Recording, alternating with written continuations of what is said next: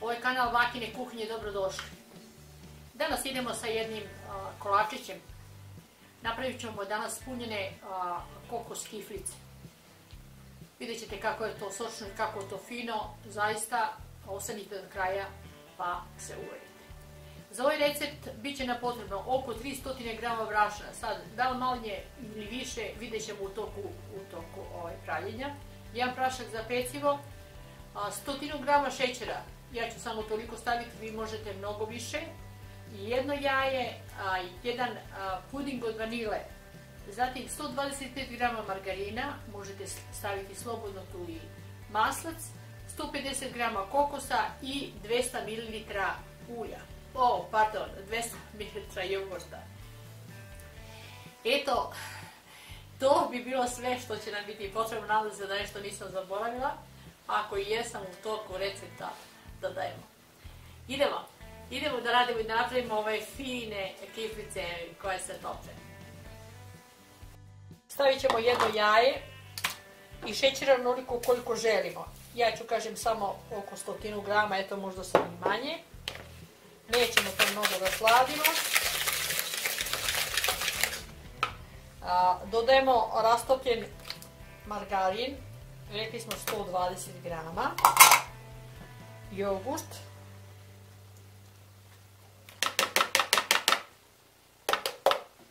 baš je gust,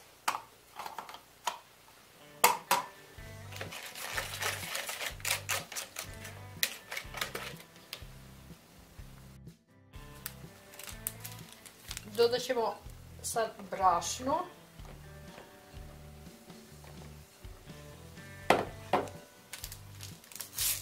Prašak za pecivo. Treba će nam sigurno to sve brašna bez daljnjega. Odmah ću da stavim. Znači tu ima 300 grama brašna. Sad im postavit ćemo malo kokosa, jedno 50 grama. Ovo ćemo da stavimo u testo. E, sad ćemo da vidimo šta smo uradili.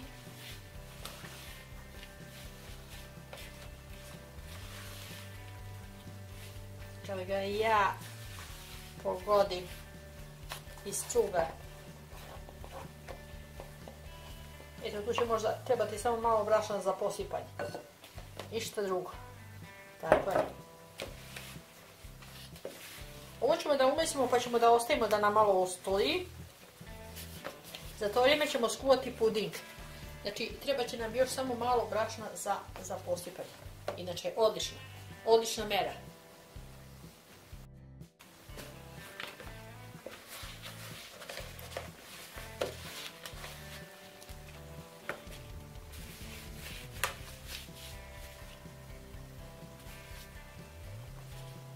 Evo sad ćemo znači to testo sad fino da izradimo.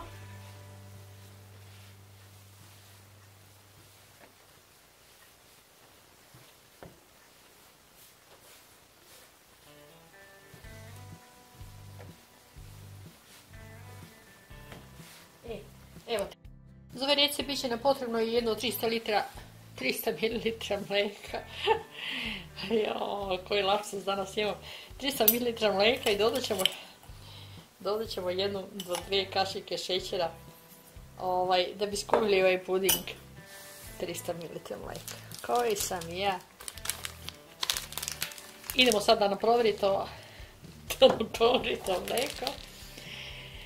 Ovaj, to je još dobro. bar mogu ovdje da se ispravim. Ima kad pišem tekstove u blogu pa na primjer pišem potrebno je na primjer a 30 grama, ja 300 grama ili a, najgore kad soli napišete. Toliko. Mislim, ali tu je moja bubica koja mene ispravi.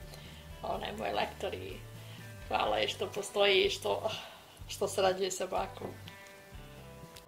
Kuvali, znači u 300 ml i sad ćemo dodati oko 50 grama kokosa i to ćemo prohladiti.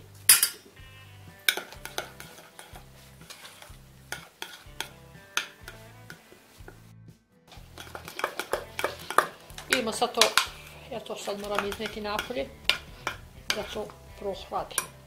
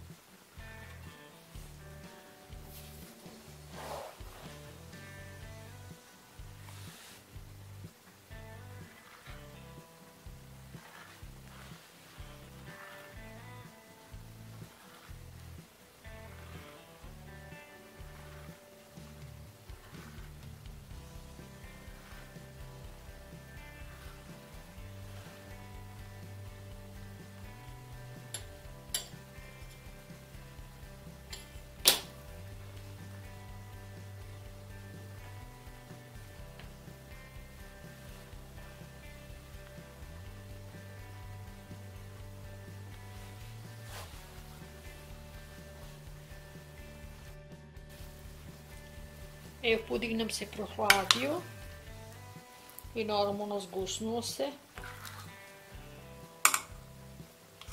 Još malo je mlak, ali to će moći. E, sad ćemo to fino puniti sa tim pudingom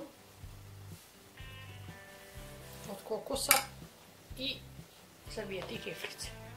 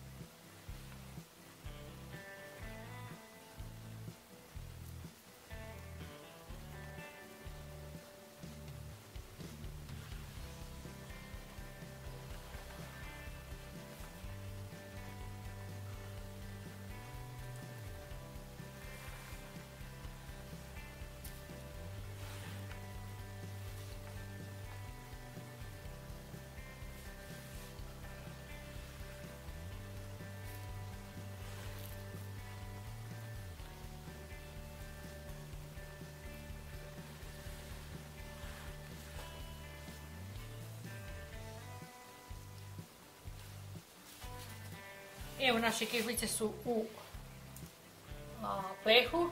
Sad ću, uključit ćemo na 200 stepeni i ovaj, vidjet ćemo koliko će biti u redni. Ja mislim da će im biti potrebno jedno 30 minuta. U ostalom reći ću vam za koliko sam ih pekla. Sigurna sam da će biti potrebno manje, vjerojatno 20. su se ispekle i sad ćemo ih malo uvaljati u ovaj kokos malo koliko može.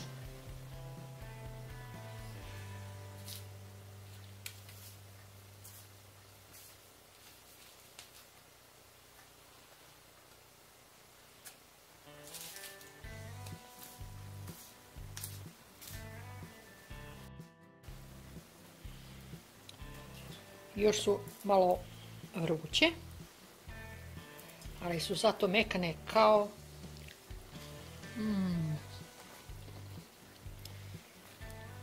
Evo sad ću da dam djejku.